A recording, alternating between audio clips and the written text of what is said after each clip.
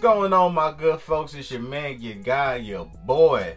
1127 Kicks. I hope everybody out there is having a great day, an amazing day, and overall blessed day. If you're new to the channel, man, hit that like button, subscribe to the page, and if you're already with the movement, hit that like button. Keep on supporting your boy. I greatly appreciate it. Now, I already know y'all see me, my yellow little navy tee. You dig what I'm saying? This is definitely a double upload. You know, I'm doing this video back to back.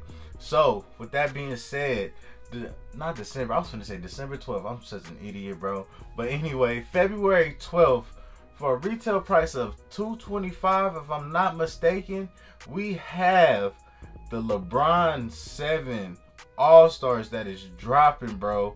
And this shoe is fire. Now I'm not even gonna lie. I slept on the China Moons. You feel what I'm saying? Then when I seen people do like reviews on them, they did on foots and stuff like that. I was like, man, that shoe was tough. I don't know what I was thinking with, you know, not getting the China Moons, LeBron Sevens. I slept on the red carpets. I should have got those. So this is definitely a shoe that I might end up trying to go for, man. It just all depends on what's going on because I know that new beginners pack also drops on the 12th. But just getting into the shoe, man, it got that nice little powder blue. You know, predominantly are all around the shoe. You got your nice patent leather. It look like a patent leather Nike check, you know what I'm saying? Then on top of that, you got your hints of your purple and all the other stuff like that. A little bit of that blue, man. So that junk is definitely tough, bro. I'm definitely feeling that, man, overall.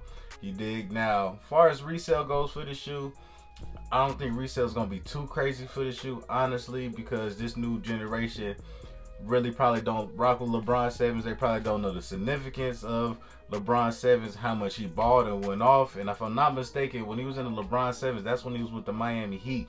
And we already know, in my personal opinion, Miami Heat LeBron is the best LeBron that we have seen, point blank, period. And no, I'm not a crazy LeBron fan, you dig. Even though he's on my Lakers, you dig what I'm saying. I'm always a forever gonna be a Kobe guy. You dig, but I appreciate greatness when I see it. And then on top of that, like the LeBron, these sevens are definitely they are definitely dope. I remember when I was in school, like people was like definitely rocking LeBron sevens and stuff like that. Like that was kind of like a shoe that was a must have. You dig what I'm saying? Now the only thing I'm concerned about with this shoe is that I'm a size 12. LeBron is a big is a that shoe itself is bulky. So I, I just don't want the shoe to look all super duper weird on me. You feel what I'm saying? Even though I'm 6'3", so maybe it won't, maybe it will, but I just got to put the right fit and everything together with that. So I just might try for it. I do not know, man. I do not know, but I'm definitely happy that this is coming out.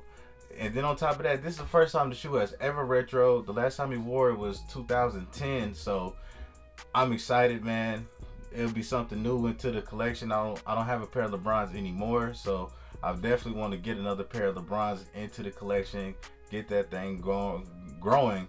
Excuse me. So, in the comment section below, let me know how y'all feel about these LeBron sevens, man. Is this a cop or is this a drop or this is you know something that you think about flipping? Now, honestly, like I said before, I don't think resale on this shoe is gonna be too crazy.